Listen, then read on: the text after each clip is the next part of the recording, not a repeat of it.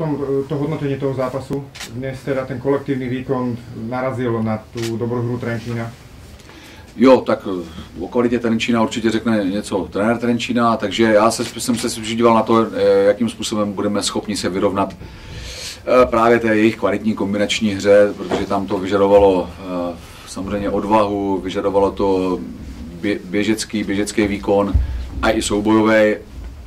Nebyli jsme úplně v tom silní, šli jsme do, do vedení 1-0, ale brzo jsme si nechali vyrovnat, tam jsme udělali takový ně, několik, nechci říkat naivních chyb, ale takových chyb, který samozřejmě soupeř pak potrestal. A, a tu druhou půlku jsme to chtěli ještě, ještě jakoby změnit, zabojovat o to, měli jsme tam pak e, jednu, jednu situaci, kterou myslím, že Milan Jurčík neproměnil a soupeř pak e, využil těch, těch situací a má běžecky velmi dobře vybavený hráče a tohle nám dělalo velký problém. Takže, takže 4-1, jedeme domů, je to škoda, protože vždycky se dá s každým něco uhrát, ale dneska si myslím, že dneska nám chybělo takový ten, něco nám tomu chybělo, aby jsme to zvládli.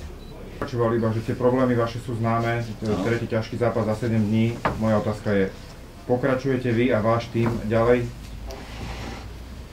Situace eh, zcela upřímně je taková, že hráči a všichni v realizačním týmu, kteří mohli podat takzvanou výzvu k doplacení těch částek, mají podanou a teďka začnou vlastně docházet ty dny, kdy můžeme, můžeme dát výpovědi, takže eh, ten, ten, ten, ten, ten, takový ten míček určitě není na naší straně. Pak, když s tím vedení bude schopno něco udělat, tak já si myslím, že z těch kluků, já můžu mluvit za sebe, já určitě utíkat nechci od rozdělané práce. A pak, že to nemá fungovat a já pak slyším v televizi, že eh, vyjádření činovníků svazu, že byli ujištěni majiteli, že dělají všechno pro to, aby se to dohrálo. Co, co to je, dělali všechno? Zjišťuje to někdo? Já dávám jenom otázky. Co to je jako dělat vlastně pro to? Jakože dostaneme autobus a jdeme na zápas, nebo? Takže uh, vy jste se ptali, jestli, jestli to dohrajeme. Uh, to se musíte zeptat těch majitelů, jestli jsou schopni s tím něco udělat.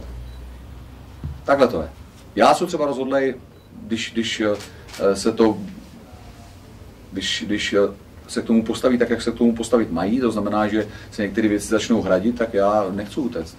Proč? Máme dobře rozdělenou práci.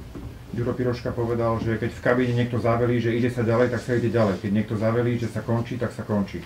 Čiže bavíme sa o lehote jedného týždňa, teraz je reprezentačná prestávka, jak jsem říkal, já můžu dát výpověď až prvního čtvrtý, k prvnímu čtvrtý, takže je reprezentační pauza.